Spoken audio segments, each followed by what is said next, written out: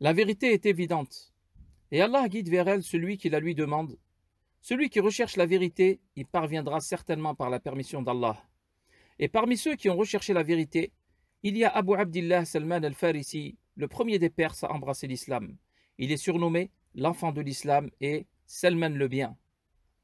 Il est sorti de son village pour quitter les terres de la Perse en se dirigeant vers le Sham pour rechercher la religion de vérité. Puis il s'est rendu en Irak. Puis il n'a cessé de se déplacer de pays en pays jusqu'à ce que l'on l'informe que le prophète de la fin des temps émigrait à Médine.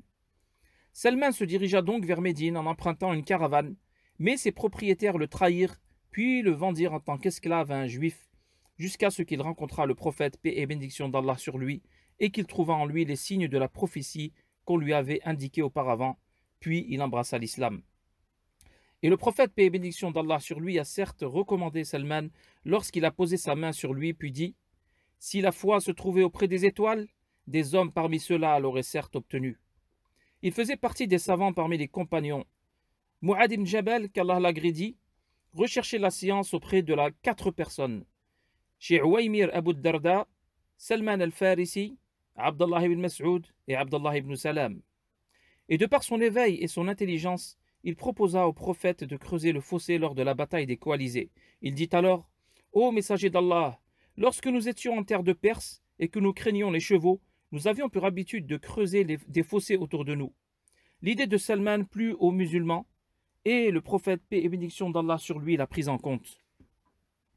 Et parmi ces énormes conseils qui traversèrent les générations, il y a sa parole à Abu Darda Certes, ton Seigneur a un droit sur toi, ton âme a un droit sur toi, et ta famille a un droit sur toi. Donne donc son droit à chaque ayant droit. Le prophète, paix et bénédiction d'Allah sur lui, dit alors Salman a dit vrai. Il faisait partie des ascètes humbles, des donateurs généreux. Il faisait au monde de tout son salaire, puis confectionnait les feuilles de palmier pour se nourrir du travail de ses propres mains. Et il n'acceptait rien des autres. Et il réunissait entre le fait de placer sa confiance en Allah et le fait d'effectuer les causes. Un jour, il acheta de la nourriture du marché pour faire des réserves, et on lui dit Tu fais cela alors que tu es le compagnon du prophète, paix et bénédiction d'Allah sur lui?